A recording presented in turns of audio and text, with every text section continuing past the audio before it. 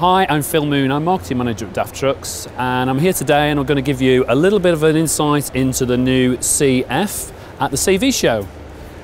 At the front of the vehicle, a lot of the improvements the XF are carried over to the CF as well, and that includes a new DAF nameplate, which includes new chrome edged letters to highlight the DAF branding on the front of the vehicle.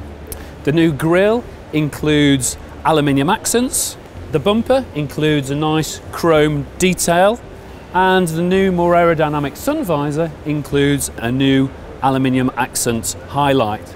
The new CF that we have on show here today is equipped with the MX-11 engine with the new highest horsepower rating of 450 horsepower and that also includes 2300 newton meters of torque. That's a massive 200 newton meters more than the previous version. It's clear to see on the CF the new exhaust after treatment system. Ultra compact, and like the XF, is 40% smaller and 50 kilos lighter. And you can see here the space that it liberates on this three axle tractor. Enough space for a wet kit or maybe additional fuel tanks. And then moving down the chassis, we can see that the, the pusher axle of the FTG twin steer has a revised air bellow system, which means that the chassis walkway is completely flat right the way up to the fifth wheel.